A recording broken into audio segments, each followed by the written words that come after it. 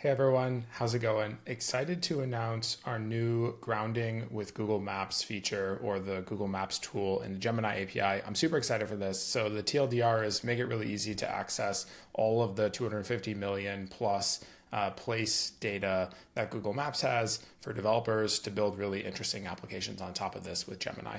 Um, so we have this new experience inside of AI Studio where you can sort of try different demos and prototypes and also build them yourself and remix them. Um, so here we have one that's built with our live API and this new feature. So let's try it out in action uh, and we'll see what's possible with this new capability.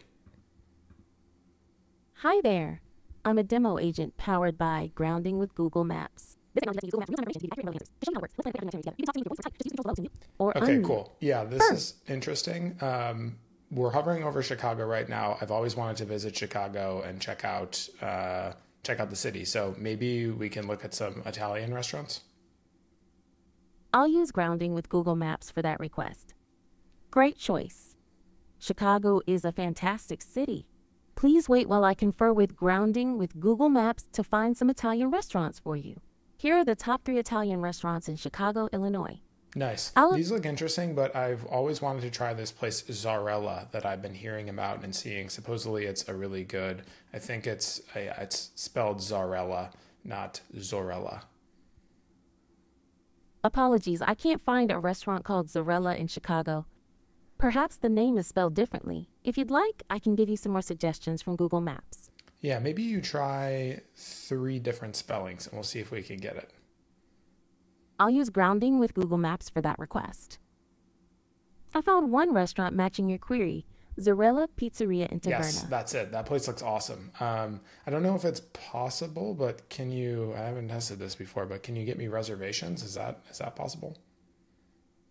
I am sorry, I can't directly make reservations. Okay, I didn't think so, but awesome. This was really cool. So I think the gist is, um, and this this sort of experience is is very customizable. So um, actually, if we go to the settings panel, you can swap out some of the different models if you want to. You can change the voices, and you can also see what we did in the system prompt here. So in this example, we're really trying to get the model, the live API, um, to actually use grounding with Google Search, and, and it says things like if you look down in in some of the system instructions, it says things like when you're doing a tool call, make sure to say, "Give me a second while I use grounding with Google Search." So all of that's customizable. The experience is really flexible, um, and then you can actually use this. Uh, chat on the left hand side to either add features to this experience or continue to customize it. So um, I'm really excited for people to get their hands on this, uh, the new Google Google Maps grounding experience, um, and send us feedback. The blog post that I'll link below has a bunch of details about the all the pricing and availability and code samples and things like that. So uh, enjoy and thanks for watching.